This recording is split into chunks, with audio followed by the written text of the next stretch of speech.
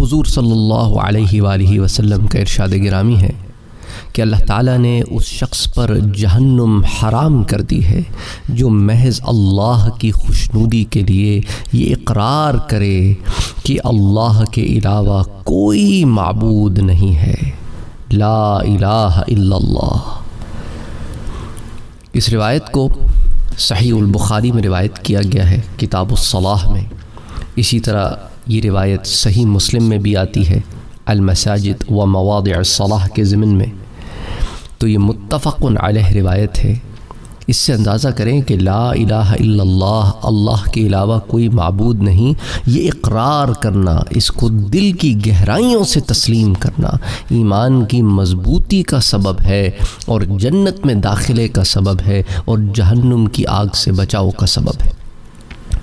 इसी तरह आप सल्लल्लाहु अलैहि वसल्लम ने इरशाद फरमाया, क्या मैं तुम्हें ऐसा शख्स ना बताऊँ? अला उखबिरुकुम? मैं तुम्हें ऐसे शख्स के बारे में ना बताऊँ जो जहन्नुम की आग पर हराम है और जहन्नुम की आग उस पर हराम है। हर वो शख्स जो अपनी खसाइल हमीदा की वजह से, यानी अच्छे इखलाक की वजह से, अच्छी खसाइल की वजह से हर दिल अज़ीज़ है, हर एक को पसंद है और नरम खो है तबीयता नरम है। इस रिवायत को सुनन तिरमिज़ी में रिवायत किया गया है और ये भी दर्ज सही की रिवायत है। इबन अल्लान ने इस हदीस का ये मफहूम बयान किया है कि जहन्नुम की आग हर उस शख्स पर हराम है जो अपने हसन सलूक यानी अच्छे सलूक और नरम खुई यानी नरम बात करने की बिना पर लोगों के करीब है। तो इससे अंदाज़ा करें कि इखलाक का आला होना कितना ज़रूरी जुज़ है और हमारे यहाँ इखलाक ही से दूर है मुसलमान। अजीब बात है।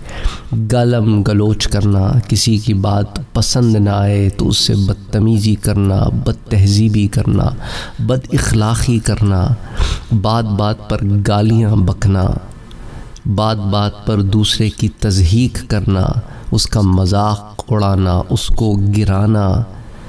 ये तो इस्लाम की तालीमात नहीं है, बल्कि इस्लाम की तालीमात तो ये हैं कि मुसलमान का इखलाक आला हो।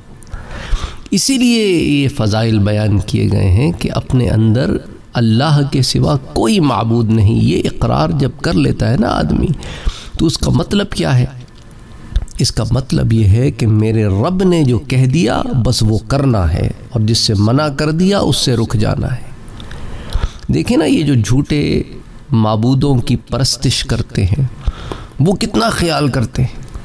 और मबूद हकीकी की इबादत करने वाले वो सोए पड़े हैं, गफलत की नींद। अजीब मामला है।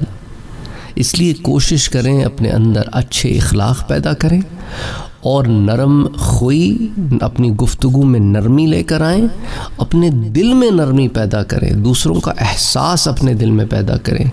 ये दोहरी ज़िंदगी ना जिए कि दिल तो सख्त हैं और बाहर से आप जो है वो बड़े मीठे बन रहे हैं कि बगल में छुरी और मुँह में जो है सुबह अल्लाह सुबह अल्लाह रस घुल रहा है। नहीं, ऐसे ऐसे शख्स ना बनो। दोगली ज़िंदगी ना गुजारो। बहरहाल, अल्लाह ताला हम सबको तोफ़ी अता फ़रमाए कि हम अच्छे आबाल करें और अपने रब को मनाएँ, गुनाहों से बचें। असलकम वरहमल वर्क और आपकी सहूलत के लिए व्हाट्सएप का ग्रुप भी बना हुआ है और टेलीग्राम का चैनल भी बना हुआ है। दोनों के लिंक्स डिस्क्रिप्शन में मौजूद हैं। अगर आपने अभी तक हमारे चैनल को सब्सक्राइब नहीं किया है तो सब्सक्राइब का बटन दबाएँ, बेल के आइकॉन को प्रेस करें ताकि आपको रेगुलर नोटिफिकेशन अपडेट्स मिल सके और आप हमें हमारे लाइव सेशंस में भी ज्वाइन कर सकें। वीडियो पसंद आने की सूरत में लाइक शेयर और कमेंट करना ना भूलें। आपको रिमाइंड कराता चलूँ कि सैयद साद कादरी इंग्लिश चैनल एक है और इसी तरह मैंने अभी recently Syed Saad Qadri Quran recitation का चैनल भी लॉन्च किया है। तो इन दोनों चैनल्स को विज़िट करना, इन्हें सब्सक्राइब करना, इनमें वीडियोस देखना ना भूलें।